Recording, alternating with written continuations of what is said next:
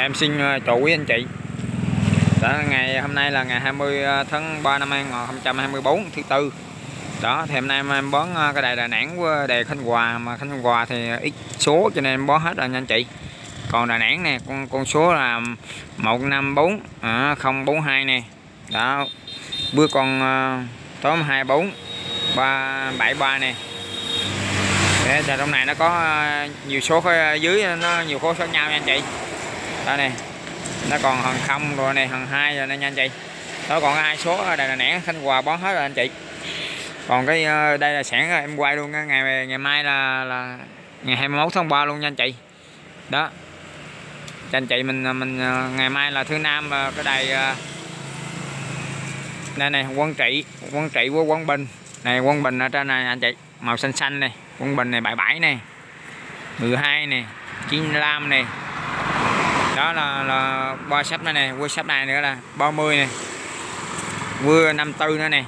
Đó 54 54 hả 30 77 12 95 hả đồng quân bình nha anh chị. Đó là quân bình. Đó, rồi, vậy em rồi mình quay cái ngày mai luôn nha anh chị. Mình à, mình xem mình có gì mình ghé mình mua nha anh chị. Rồi chuyên tư này quân trị này tôm lam này 76 này 20 này 39 này bốn tôm này 53 này đó em quay dẹp đỡ lắm bữa nào người nào trúng em coi lại em biết rồi nha anh chị.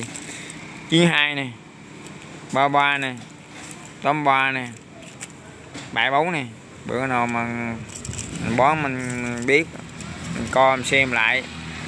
Đó khoai trống không 67 chiên tôm 37 65 02 à, 19 46 61 70 89 57 24 51 2 tóm 15 06 00 à, 42 nha anh chị.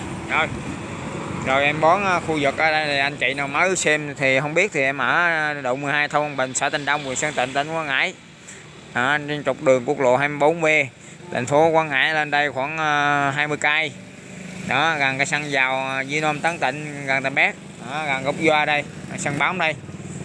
Đó gần kế sân đường và nhân qua đường các thú bát đó, em bón ngay chỗ ờ, đây cái chạy thấy một cây xanh này rất lớn này, thấy không? Đó, đối diện quán, đó, cà phê xanh. Đó, cây xanh này rất to. Đó, đây là quán ờ, siêu xe. Họ bón chân gò cánh gò đùi gò rồi của em bón ở đây với hai của em bón với số này luôn. Anh chị nào muốn ờ, cầu lập cầu tài thì anh chị mình mua số cầu hay thì anh chị ghé mua, em tạo ủng hộ. Rồi, cảm ơn quý vị, anh chị rất là nhiều. Chúc anh chị cô bác mình may mắn con lọc phát tài nha.